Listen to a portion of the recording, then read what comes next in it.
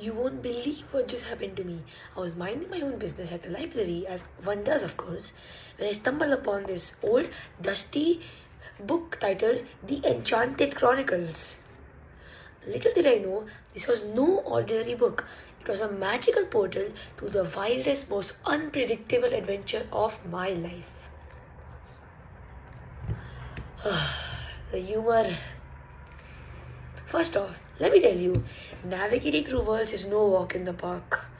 One moment I'm dodging fire breathing dragons in a medieval kingdom, and the next I find myself in a futuristic city uh, trying to figure out how to use a hoverboard. I've become a time traveling, genre hopping extraordinaire. and the landscapes, oh, the landscapes. I've tiptoed through enchanted forests, surfed on candy cane waves in a land made entirely of sweets, and narrowly escaped quicksand in the Wild West. I've had more unexpected detours than a GPS system with a sense of humor. Let's talk about the characters I've met. There was this charming pirate who insisted I join his crew because apparently I looked like I, I could handle my I myself could handle a sword. Like where did you get those ideas from? Spoiler alert, uh, I can't. Like really can't.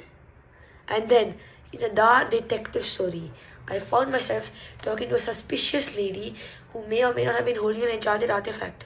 Classic, right? Like who gets the idea? Hmm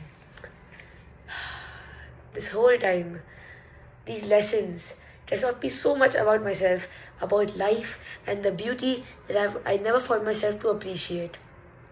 Through it all, I've learned that the Magical Book Club is a place where every page is a new adventure.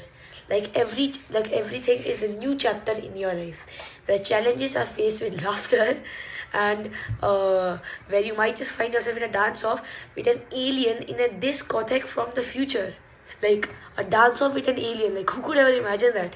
The future is full of surprising things.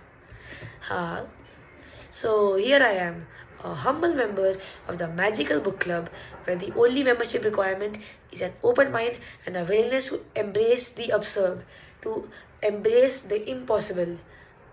Who knew the library could be so enchanting? Like all I ever thought it was was for studying or reading some random fiction books made by some random old people. Uh, now, if you'll excuse me, I want a date with a talking cat in a world where gravity works backwards. Happy reading, my friends.